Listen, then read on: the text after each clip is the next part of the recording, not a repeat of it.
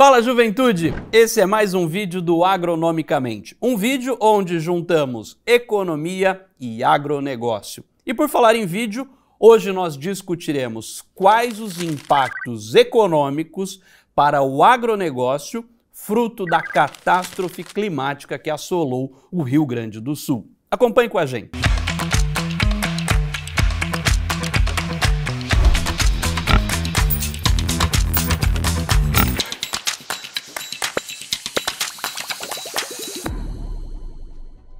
Antes de iniciarmos este vídeo, é importante deixar aqui toda a nossa solidariedade ao povo gaúcho, que além principalmente de perda patrimonial, de perda relacionado aos seus negócios em específico, mas também as vidas humanas que foram perdidas, em especial fruto das enchentes e de toda esta catástrofe climática que assolou o estado do Rio Grande do Sul a partir do início de maio de 2024.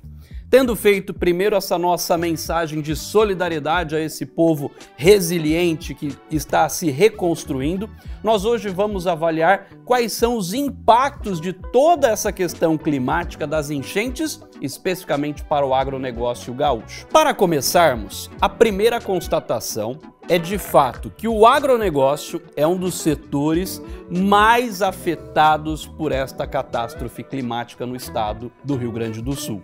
Portanto, é sobre este setor que nós vamos discutir aqui agora. Mas antes, vamos olhar primeiro quais são, dentro do agronegócio, as atividades e os setores mais importantes do estado do Rio Grande do Sul. O Rio Grande do Sul tem um peso relevante na produção agropecuária brasileira. Para vocês terem uma ideia, alguns produtos são extremamente relevantes, dentre eles canola, aveia, trigo e arroz. Portanto, quando nós falamos do Rio Grande do Sul, esses produtos, sem sombra de dúvida, são fundamentais para o agronegócio brasileiro como um todo e representa a importância deste estado no agronegócio. E por falar em arroz, que está entre os quatro principais produtos de maior relevância do estado do Rio Grande do Sul, é sobre ele que nós vamos começar a discutir aqui agora. Como nós discutimos anteriormente, o estado do Rio Grande do Sul responde por cerca de 70% de toda a produção de arroz do Brasil. Como o arroz faz parte do prato de todo brasileiro. Certamente as principais notícias que vocês ouviram relacionado aos impactos no agronegócio, em especial no bolso das famílias, diz respeito ao arroz. Afinal, o Rio Grande do Sul é o principal estado produtor e se não bastasse isso, até o momento das chuvas, faltavam colher cerca de 22%. Quando eu falo que faltavam colher 22% da área total cultivada de arroz, para vocês terem uma ideia, isso representa praticamente 1,6 milhões de toneladas de arroz. É claro que nem toda esta área e toda essa produção estaria comprometida pelas chuvas, mas uma parte, uma parcela deste volume, sim. Alguns analistas estimam que deste volume de área, que responde a quase 1,6 milhões de toneladas de arroz, praticamente 700 mil toneladas, sim, estariam perdidas. Portanto,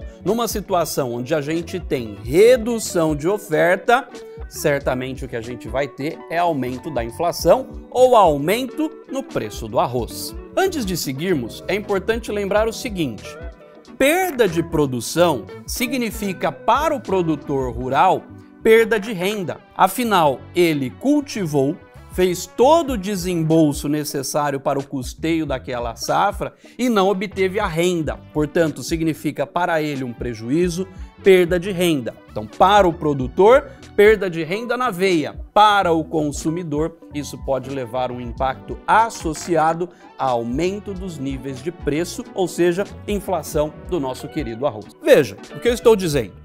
Se nós tiramos do mercado 700 mil toneladas de arroz, ceteris paribus, ou seja, tudo mais mantido constante, nós teremos então um aumento do nível de preço. É por isso que o governo brasileiro autorizou recentemente a Conab a importar cerca de um milhão de toneladas de arroz de outros parceiros do Mercosul, tal como o Paraguai. Veja que, de um lado, essa medida tem um objetivo reduzir potenciais tensões sobre a inflação, sobre o bolso do consumidor. Porém, do outro lado, gera um impacto final, afinal, significa um desembolso adicional para o Estado brasileiro. Para a gente fechar a nossa discussão sobre arroz, o mais importante é avaliar as condições e as intenções de investimento dos produtores para a próxima safra. Afinal, fruto de toda essa situação de calamidade, Muitos produtores poderão estar desencorajados em continuar na atividade, consequentemente reduzindo ainda mais a oferta de arroz para o próximo ciclo. Este deve ser o nosso ponto de atenção e o monitoramento, de modo que medidas fundamentais para a continuidade desses produtores na atividade serão fundamentais, desde crédito, seguro, dentre outras medidas. Bom, falamos de arroz, aquilo que faz parte do nosso prato do dia a dia na mesa do brasileiro. Agora vamos falar de uma outra commodity extremamente importante: soja. Quando nós falamos de soja, o Rio Grande do Sul é o segundo maior estado produtor desta commodity, respondendo por cerca de 15% de toda a produção do grão no Brasil. Quando nós olhamos para o estado, principalmente aqueles que estavam com soja tardia, e nós precisamos avaliar que até o momento das chuvas havia sido colhido no Rio Grande do Sul cerca de 76% da área. Como a colheita já tinha avançado em praticamente 76%, e as inundações atingiram não as principais regiões produtoras, aqui o impacto para a soja ele já é mais reduzido sendo que alguns analistas estimam uma perda próximo a 1 ou 2 milhões de toneladas de soja. Quando nós olhamos este volume de 1 a 2 milhões de toneladas de soja que podem ter sido perdidas em função das enchentes, isso representa menos de 1% de toda a produção brasileira. E mais do que isso, quando nós olhamos para um contexto global, o impacto é mínimo. Portanto, para efeitos de soja, Houve sim uma tensão no mercado internacional refletindo este fenômeno, mas aparentemente seu impacto é menor. Embora este impacto seja menor e limitado a 1 ou 2 milhões de toneladas de soja, é importante aqui fazer algumas caracterizações e descrições. Quando nós avaliamos e vemos fotos das plantações e das lavouras de soja, o que nós estamos vendo é uma soja que está apodrecendo no campo. Literalmente, ela já está ficando preta e mais do que isso, este excesso de umidade, este excesso de chuvas leva a um aumento de acidez, comprometendo inclusive o óleo de soja, reduzindo a sua qualidade. Portanto, aqui está a variável chave de preocupação para o produtor.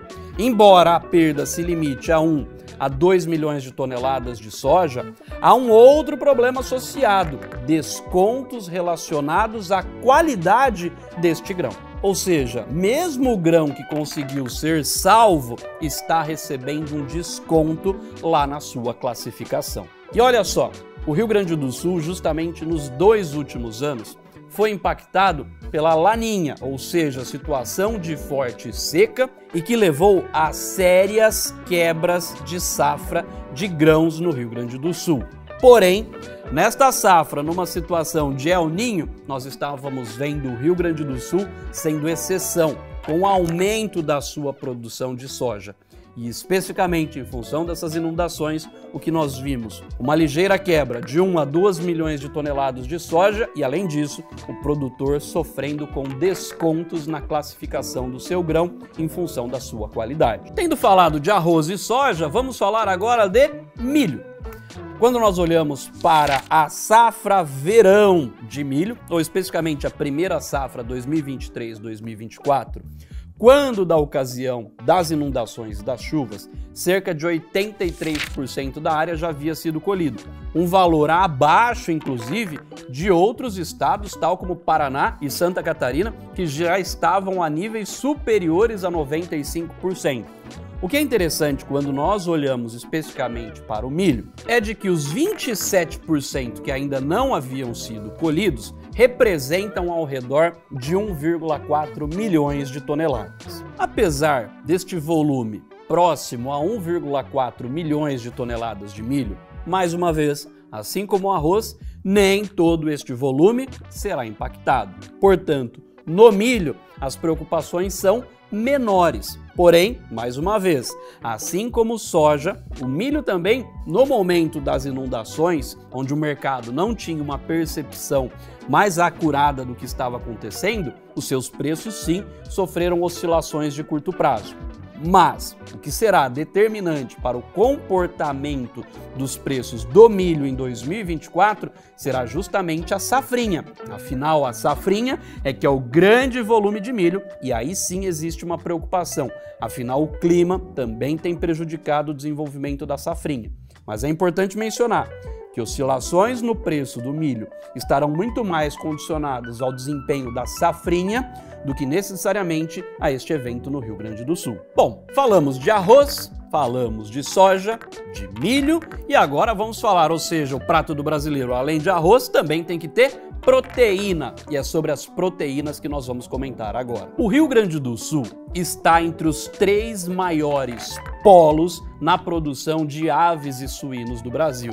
E se não bastasse isso, as áreas afetadas pelas inundações, ou seja, pela calamidade climática que nós observamos, respondem por cerca de 65% da produção de aves e suínos do estado. Só para vocês terem uma ideia, o Rio Grande do Sul responde por 11% da produção de aves e 17% da produção de suínos no Brasil. Portanto, quando eu falo de proteínas, a nossa preocupação está muito mais limitada a aves e, em especial, suínos.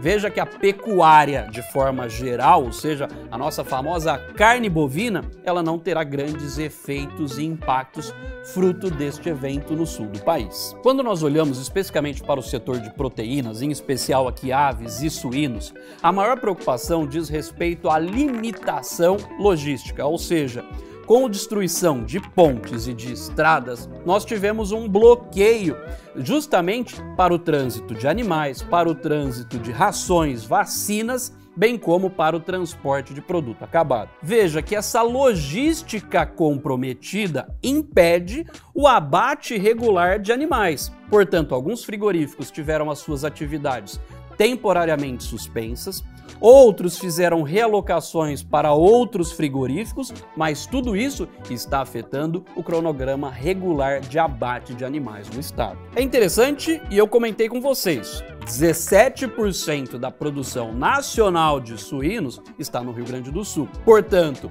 quem já começou a sentir efeitos nos preços foram justamente os suínos. Preço do suíno vivo já começou a subir na região sul do país, fruto dessas limitações logísticas. Porém, à medida em que esse processo for se regularizando, a questão de preços também volta à sua normalidade. Veja de novo a cara do prato do brasileiro.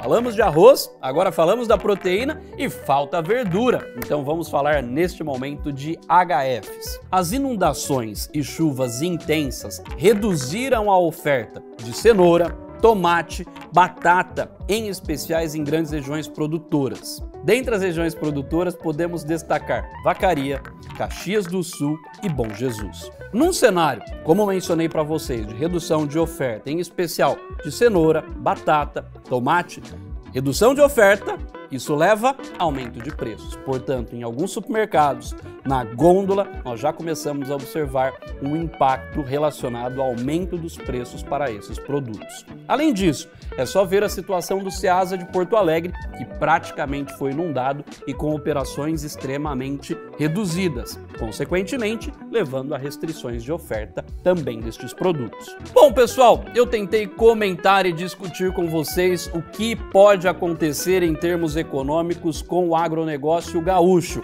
O mais importante que a gente precisa ter em mente são dois vetores. O primeiro, podemos ter um viés altista na inflação de alguns itens da cadeia de alimentos, em especial arroz e proteínas, como nós mencionamos aqui há pouco. Além disso, o mais importante, o segundo item que eu quero dizer, é monitorar a saúde do produtor. Em especial, ele investiu, fez gastos na sua atividade e não colheu os benefícios, ou seja, está tendo forte perda de renda. Aqui sim se faz necessário um programa de crédito de repactuação das suas dívidas. Portanto, essa foi uma mensagem relacionada a como entender e interpretar os impactos das enchentes e da calamidade climática no Rio Grande do Sul sobre o agronegócio. That's all, folks. Isso é tudo, pessoal. Se você gostou, se você curtiu, não se esqueça de nos acompanhar nas redes sociais, em especial através das redes do PSEG Consultoria e Projetos. Valeu!